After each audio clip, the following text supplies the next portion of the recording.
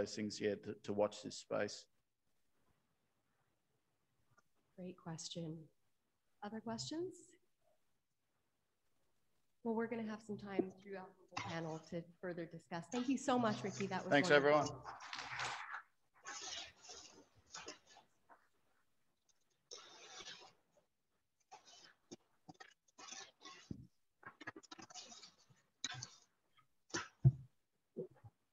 So now I'd like to introduce our next two speakers on the program. And their title of their talk is Indigenous owned Savanna Carbon Farming Projects Create Multiple Benefits. I'll quickly read over their bios. Firstly, I'd like to introduce my grandfather, Gamarang Dr. Otto Bulminia Campion. He's a senior Gurrawilling Ranger and land manager at Arafura Swamp Ranger Aboriginal Corporation, ASRAC.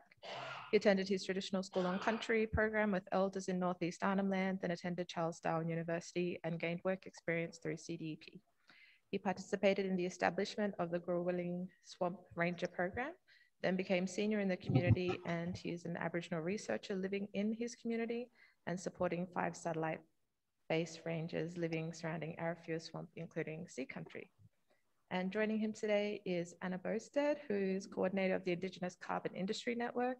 She earned a Bachelor of Arts in Environmental Communication from Deakin University and a master's degree in Tropical Environmental Management from Charles Darwin University.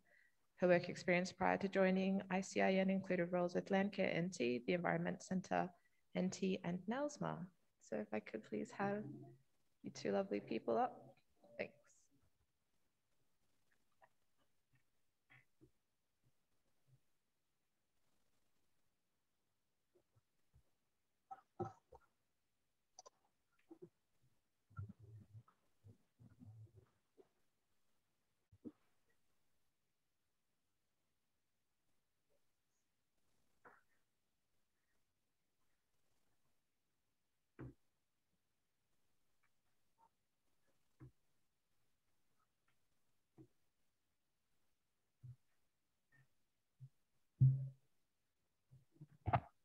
Thank you, Marlon, for that lovely welcome.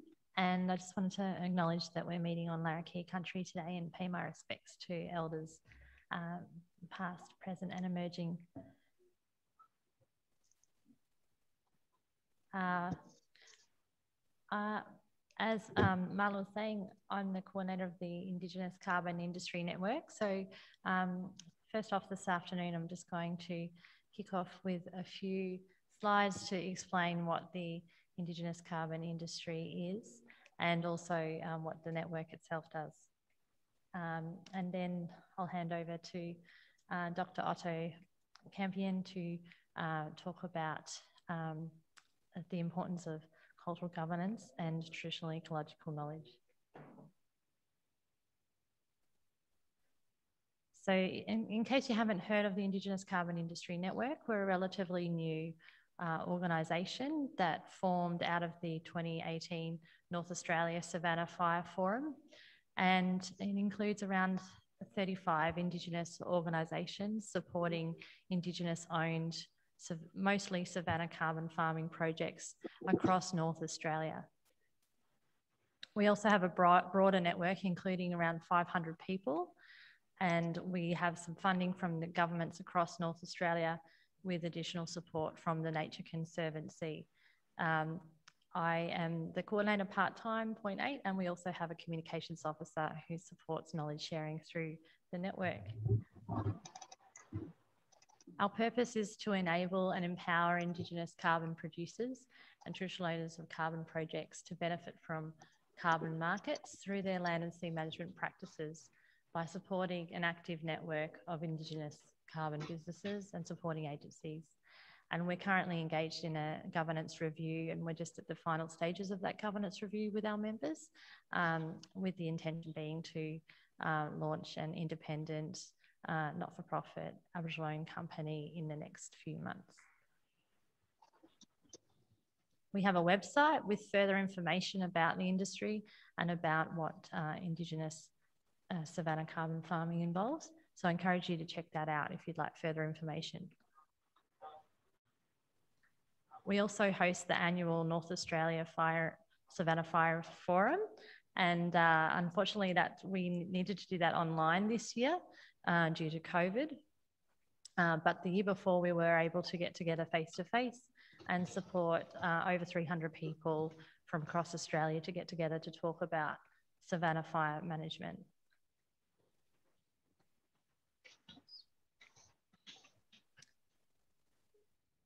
So the Indigenous Savanna carbon farming industry began in 2006 from one project in the West Arnhem Lands region, um, which is referred to as WALFA.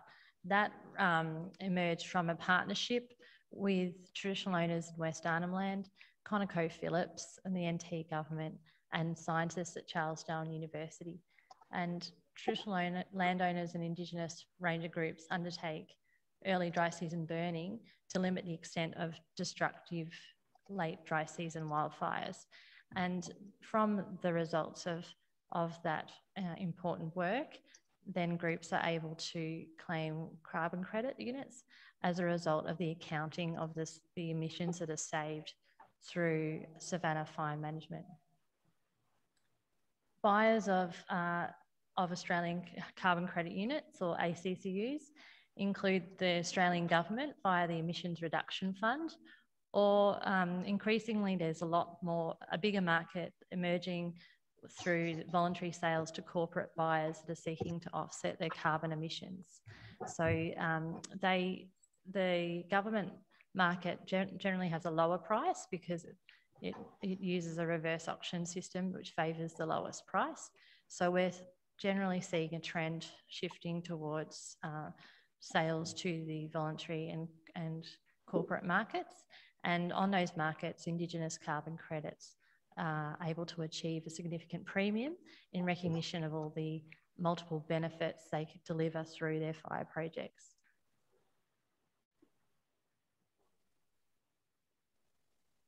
At the 2020 Savanna Fire Forum, the Charles Darwin University um, North Australia Fire Information Service did some analysis which showed that uh, North Australian fire management is now recognised as world practice, um, and they've they've done that analysis through um, satellite imagery, and through this satellite imagery, they're able to work out the when uh, areas were burned and to what extent, and that all that information feeds into a program called SAVBAT, which is how the uh, carbon credit units are calculated from that information. So there's a lot of very sophisticated tools that are used in the Indigenous carbon industry.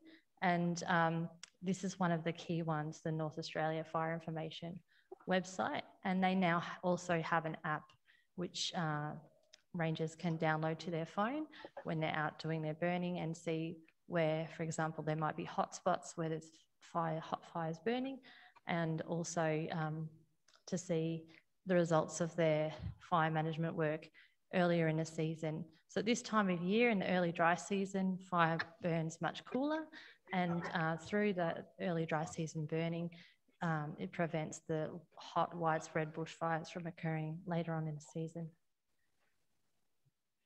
There are also other methods emerging um, which uh, opportunities for Indigenous organisations to support their land and sea management work and to gain economic value and economic recognition of their work.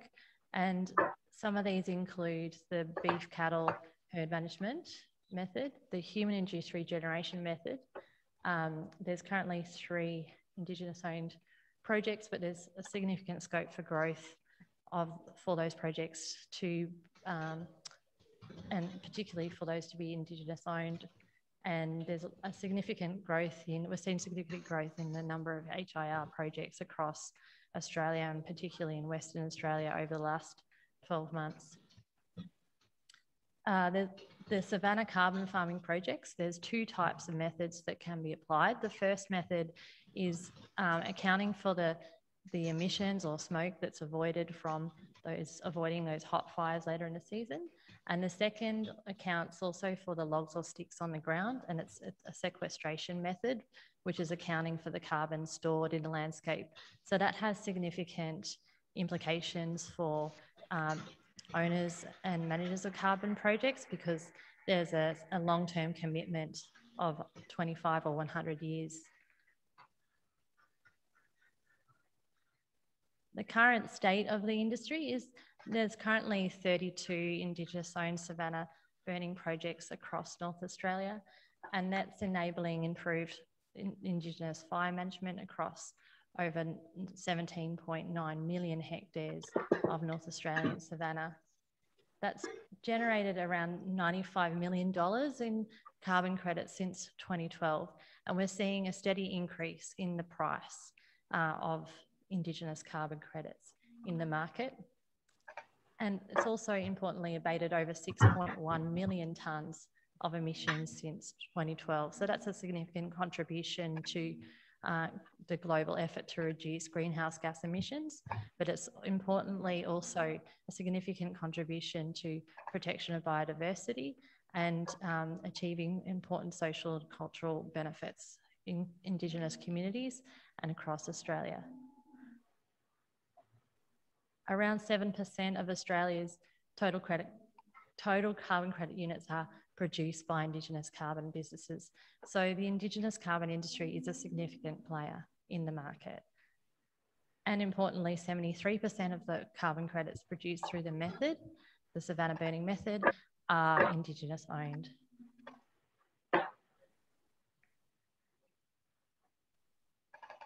Uh, we did some uh, research with our members through the network, um, and we did a survey with, I think, 17 uh, organisations participated in the survey, and they indicated that there were key areas for investment of the revenue of uh, these projects, which deliver significant co-benefits. So those include um, obviously investing in fire management itself, which is expensive, and so it's important that an important part of supporting those fire management projects is using the revenue gained through the sale of carbon credits to support further fire management in future years. Also employee, employing rangers and uh, other, other uh, staff to deliver the projects. And that, importantly, that's often um, providing employment opportunities on country in very remote areas where employment opportunities are scarce. And also contributing to planning and supporting intergenerational exchange of traditional knowledge. And also we'll be speaking about that in a minute. There's also been investments back into the infrastructure to support communities and community development, as well as training and uh, research projects. There are, uh, as I was uh, mentioning earlier, there are significant additional benefits delivered by these, project, by these projects that aren't captured um, within the carbon credit price. And so they're yet to be, they're yet, their value is really yet to be determined fully. Um, so there's work to be done to ensure that the future of the carbon industry remains driven by re recognising Indigenous ecological knowledge and land and sea management practice, and that holistic management by Indigenous people is not lost or mistaken by or, or overtaken by the mainstream economic drivers.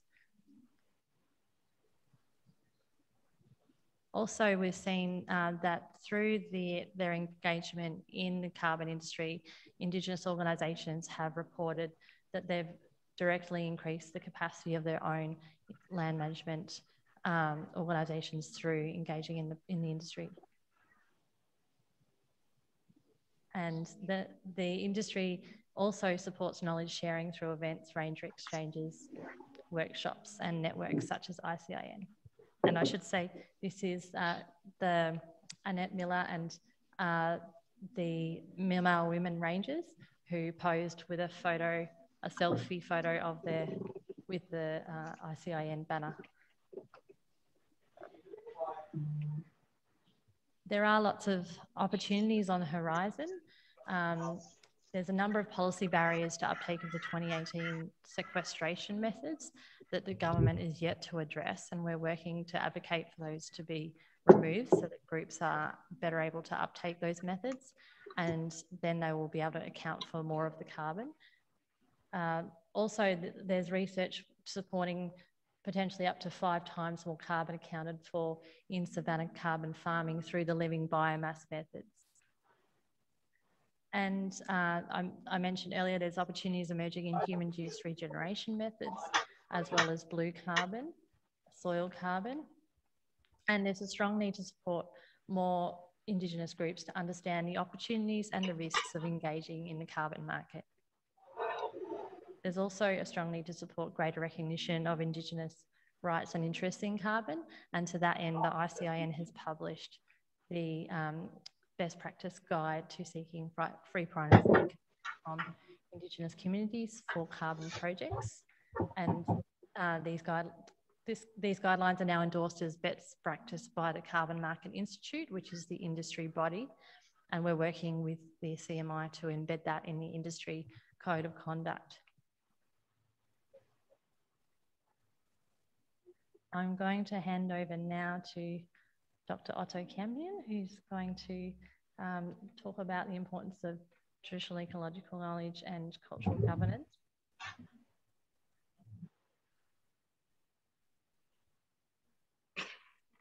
Thank you, Anna. Um, first, I want to um, acknowledge traditional owners from this country where I'm standing. And um, I think my, um, my talk today, it's not about numbers, it's about how um, Indigenous people will look at um, our language, our country, and our landscape. And I, yeah, I like to um, maybe go for um, um, short, and uh, I'll wait until um, question if I can answer some of them.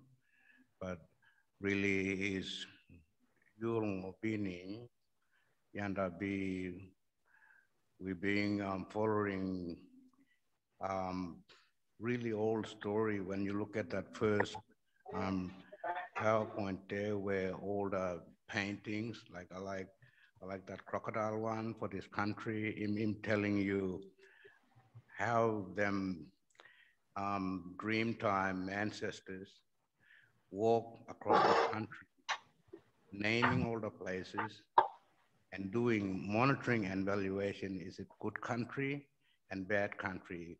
You can do this, you can't do that. And all the rules that, that on, on country, we've been um, putting it together and, and trying to um, um, demonstrate and, and tra uh, translate for our um, volunteer scientist partners. So, um, so here um, you can see there's a lot there because we are now um, moving forward from our carbon program. Um, you can see uh, the little diagram there about old, uh, old people, they've been walking, looking at country, naming, and, and um, from our creator, it, it's separate region. So um, it's good that um, we're putting something there out on country and my role is trying to look, look at our dreaming stories, our ROM, um, we, we have um, our own rule for that, for that country. And for the last um, 10, 20 years, I've been listening to them elders worrying about unmanaged fire and a lot of feral animal damage, taking um, really good uh, topsoil. And now we are dealing with erosion and even changing um, like a tree flowering cycle because it's, it's our um, food chain. That's our indicator. The pointer. You can see um, like them elders there, they, they been telling us many good story for the country and the one program, it's, it's helping indigenous mob or my people to connect themselves on country because um, when the policy changed from uh, government, they dismantle every funding that's going out on, on, on community for um, housing, road, education, health. So we are, we are lucky. Um, uh, you can see we got about um, seven uh, ranger group, two or three ranger group employed by uh, communal government through working on country um, program. And the other, other rest that we put our own carbon money back to um, to our countrymen and they can, they can tell them story. They can go and visit. They can smoke them up that country. They can do it, it, um, really good traditional fire management. That's what traditional fire management it's all about. We have to um, look at, you know, people are real happy if we do right thing for that country, that country in reward us, in give us good, healthy animals, good um, family, you know, that can um, stay healthy. Now we are dealing with many different um, problem and, and influence, you know, from all the policy change, but we still here, you can see uh, um, in some area, you, you call that rule book, you know, every organization, every, every, every company, you work by rules. And that rule in, in from in from somebody else. Well, it's same for our Yolngu That rule, they've been put them there from them old people, that language we're talking. And we're telling him not a um, little, little, uh, little picture story. It's, it's a real stuff that you can see um, elders there. They want to they want to yarn, they want to tell him story. And that's what um, we, we want to you know, take, take our talking cycle, going around, meet up with other people and, and start working. So for me, I've been, you know, going out, working with my people and trying to get that bush language into um, management language. And sometimes we have to, we have to um, work with all the um, right equipment. So I think NAFI, it's a, it's a good mapping program. We, we look at, we know our country because we can see our vegetation. We can um, look at uh, all the um, all the grass. Sometimes country in sing out for us. We we want to go that corner. or maybe a good fishing place. Oh, we want to go that corner. So country in live in waiting for us to go back and connect ourselves which is, um, I think now ASRAC um, um, plans, we've been um, developing um, ASRAC cultural database, and we're working with um, um, Glenn from uh, Melbourne. So we, we started to look at our own, own um, uh, uh, device or little, little um, machine that we go and record all the, all the story. And when we take that story back in our, um, in our office, uh, we have to, you know, make it, um, this story in, in like um, um, house and we have two door open and two window open. So we work with um, outsiders and we also work with our, with our community. And um, the story, language, and Rom, it's really important, like in central or northeast Arnhem Land, we, we all Yolngu people, we all be people, we wanna, we wanna um, share our story by, by doing um, cultural uh, activity on country, not activity like sport and, and all that. So I think that's where um, our knowledge system is really important because um, we've been taking too much from, from Mother Earth. Now we have to give back. Uh, some of them, my tongue, I can't saying, you know, some of the carbon language there, it's, it's, it's too high. But if I, if I look back and talk my language, I'm really, really higher language too. So um, we always make it easy, simple, and we, we're really lucky with, with all the different other partners that we're putting all our story together to tell them outsiders, this is what our country really need, need um, help. So um, passing knowledge on country, we have two ways. Sometimes we bring them in classroom, in building, like university, or in school. Sometimes we take people out on country. It's an open air classroom. We learn rule about respecting family. And I reckon that's where uh, this carbon program, it's, it's, it's helping more young. We're not doing it for, um, for fun. Our old people, they've been walking and doing petty fire. It's just like a helicopter, you drop incendiary and you, you make a petty fire. But if you put them line with drip torch, you speed them up fire because he'll, he'll, he'll turn around, he'll chase you like snake. So we, as a hunter Yolngu mob, we go in front and you, you um, Balanda, you say, now you in dead man zone. But we hunter, we wanna kill him like a snake. We wanna hit him that head part. So some of the photo there, our, our young ones now, we're thinking, are we going to fight this fire or we just, you know, just, just, just let them go. And I reckon now from that first Watercan ranges, we, we started to get in there, put all the young ones to go and put them at fire. And I think, um, yeah, fire in, in everything for us, in, in backbone, in tools, in all, in, in all our life, you know, like um, husband and wife, and fire in the middle, all the children playing around, they got two-way responsibility. When they grow up, they gotta respect mother side, they gotta respect father side, and, and they can be good leader.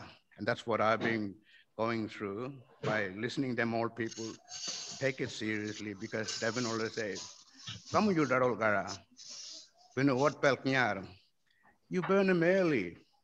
Otherwise you kill them bushtaka in my staff.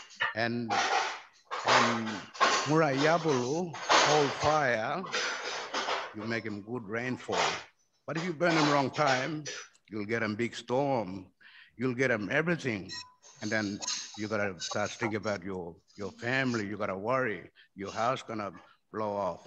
And then, of course, when I look at um, costing, you know, sometimes Mother Earth him saying, you're taking too much, go back to that coal energy. And I think that's where we want to um, look at, make sure we'll have good temperature for our grandkids coming up. Otherwise, if we run them up, we heat them up, the tsunami will kill us. Or bolung, I call them. And that bolung, him can, him, him can, him can stop. If we, if we want to make him landfall, he'll go for it. As, as long as we, we all praying or singing, you know, traditional song. That's why that language is really important. Thank you very much.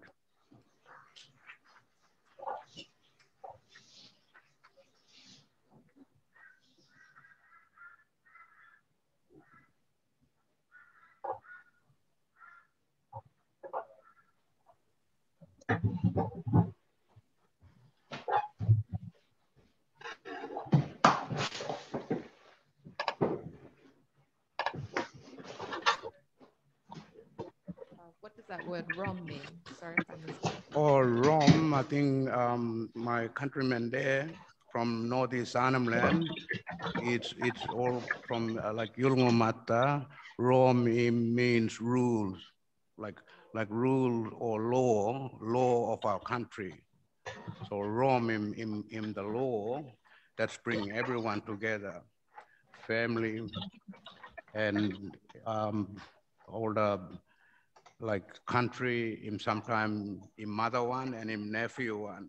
So that's that's the that's the rule. We must follow that rule from what them all people they can see that landscape. come up. Thank you very much.